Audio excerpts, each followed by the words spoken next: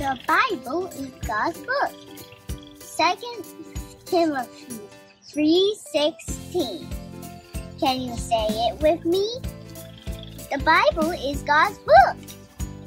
Second Timothy 3:16.